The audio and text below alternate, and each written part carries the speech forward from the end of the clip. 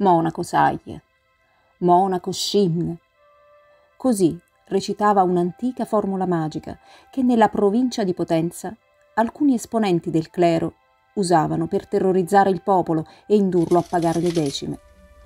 I preti, grazie a queste parole, si racconta potessero librarsi nell'aria e comandare le nuvole, producendo uragani in grado di distruggere i raccolti.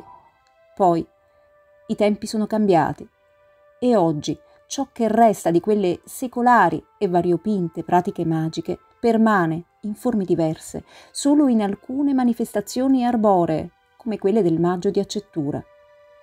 Particolarmente importanti però almeno fino ai primi decenni del 1900, sono stati gli scongiuri ripetuti per contrastare le tempeste.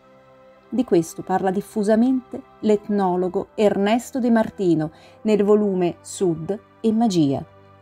I suoi resoconti si basano sui racconti fatti allo studioso da un vecchio arciprete, Don Pellettieri, e da Margherita d'Armento, una donna all'epoca dei fatti quasi centenaria.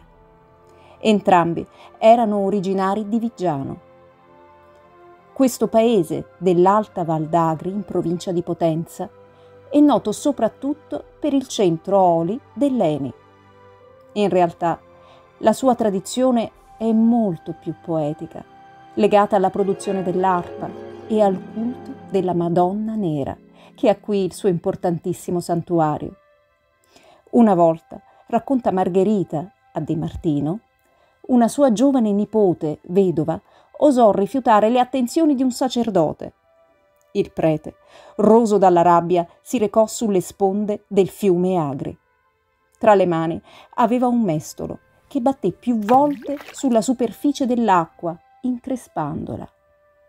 Immediatamente l'uomo si trasformò in un nembo temporalesco e in questa sua nuova forma si abbatté sul raccolto della giovane, devastandolo. La terribile vendetta si compì per alcuni anni.